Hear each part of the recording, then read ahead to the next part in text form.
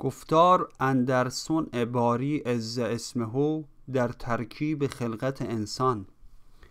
ببین تا یک انگشت از چند بند به صنع الهی به هم در فکند.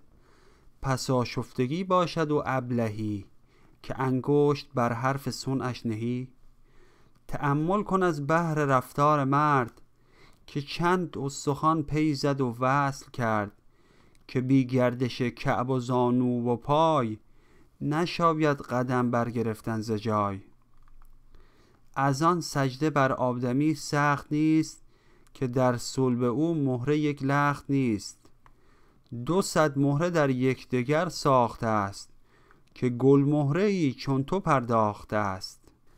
رگت بر تن است ای پسندیده خوی زمینی در او سیصد و شصت جوی. بسر در سر و فکر و رای و تمیز جوارح به دل دل به دانش عزیز. بهایم به روی اندر افتاده خار تو همچون الف بر قدم ها سوار. نگون کرده ایشان سر از بهر خر تو آری به عزت خورش پیش سر. نزیبت تو را با چنین سروری که سر جز به طاعت فرود آوری. به انعام خود دانه دادد نکاه نکردد چو انعام سر در گیاه.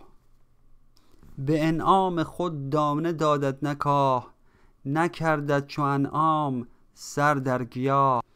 ولیکن بدین صورت دلپذیر فرفته مشو سیرت خوب گیر. ره راست باید نه بالای راست که کافر هم از روی صورت چو ماست. خردمند طبعان منت شناس بدوزند نعمت به میخ سپاس.